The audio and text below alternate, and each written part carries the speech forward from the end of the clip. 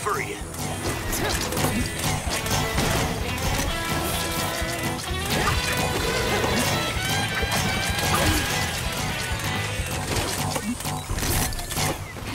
Give the switch to call.